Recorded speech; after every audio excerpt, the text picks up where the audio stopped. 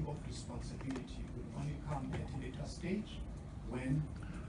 instead of task team has looked at all the issues surrounding this matter. On the issue of the institutionalization of the payment of grants as a state, these are some of the things that the ministerial task team is looking at at this moment in time to ensure that the state as a state provides these services rather than outsourcing them to the private sector.